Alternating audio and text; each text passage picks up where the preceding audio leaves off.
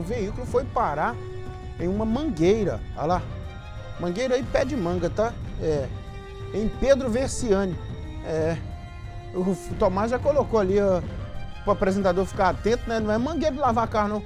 É mangueira, já, já manjei logo, Tomás. É mangueira mesmo, é, é árvore, né? Frutífera. Aí. Gente do céu. É. Aí as imagens, ó. E tem vítima, né, o, o, o Fantoni, nesse acidente. Rapaz, você vai me contar como é que esse carro conseguiu parar aí nessa mangueira, Fantoni?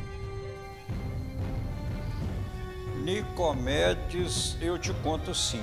Nicomedes, você já prestou atenção? Você que é motorista, você já prestou atenção? Que delícia, que, que coisa mais gostosa quando você está dirigindo e aquele sono gostoso chega, aquele cansaço. Você dorme sem prestar atenção quando você vê é o que aconteceu aí. Há uma informação de que possivelmente esse motorista tenha cochilado ao volante. É aquele sono, Nicomedes, que pega a pessoa traiçoeiramente e quando ela percebe, já está fora da pista. Então foi uma saída de pista seguida com choque com árvore e duas vítimas de ferimentos nesse acidente, o motorista e o filho dele. Os dois tiveram ferimentos leves no começo. Veja bem, que livramento, que bênção, ferimentos leves. E nós colocamos ontem, deve ter repetido hoje, as recomendações da Polícia Militar Rodoviária para as pessoas que deslocam pelas rodovias durante essa Operação Independência, durante esse final de semana prolongado, ou até mesmo do dia a dia. Então, se está cansado, o policial acabou de falar aí, está cansado? Para, descansa. Aí dormir aqui cinco minutinhos já tá bom.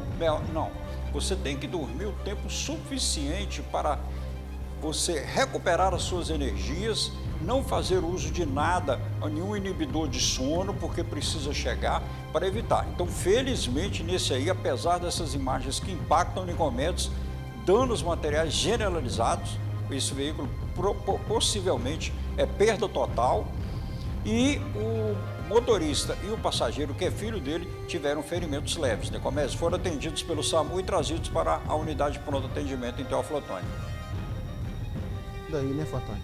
Os anjos sem asas.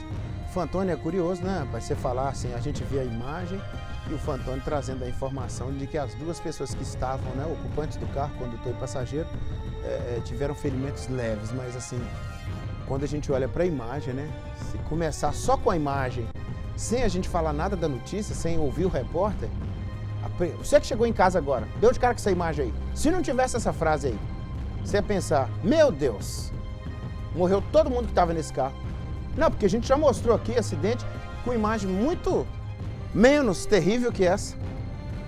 Né? E essa aí, graças a Deus, sobreviveram, né? Olha só. É o que o Fantoni falou. Manejo do sono, gente. O policial tá o tempo todo falando isso aqui. Tem que estar tá com sono em dia. Porque se cansou, meu amigo. O sono, ele é...